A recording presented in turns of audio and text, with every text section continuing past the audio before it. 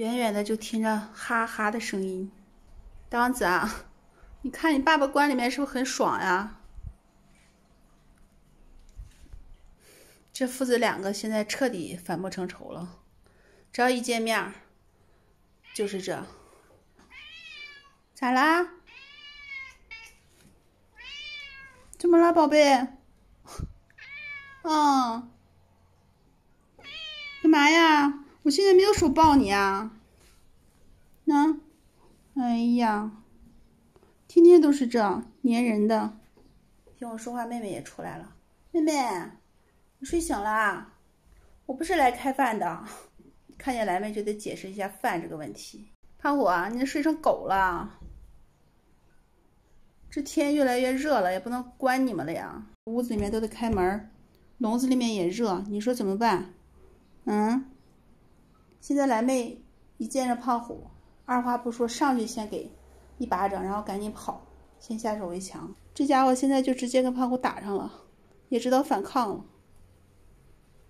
蓝妹现在跟他大宝最好，有时候两个还追来追去的。别别别上别上，不开饭。这是蓝妹每天等饭的地方。看胖虎的表情，生无可恋。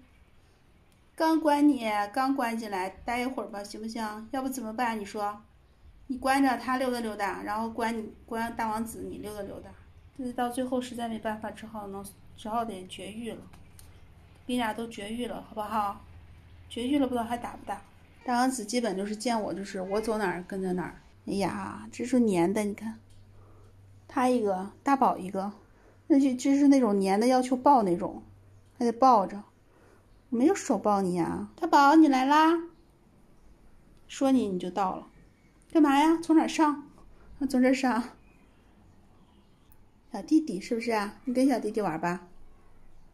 你看胖虎，又开始凑到这儿了，咋啦？笼子又关不住你啊？那很呆呆的看着儿子。干嘛呀？隔着笼子能打呀？大王子吓得躲那角落里去了。你躲那么远？大王子啊，爸爸关起来了，不能咬你啊！哎呀，这愁人的，那不能跟你说话，一说话就过来蹭。你你你，胖虎又不愿意了。你咋啦？不至于吧？这就吓得又躲起来了。小宝咋整？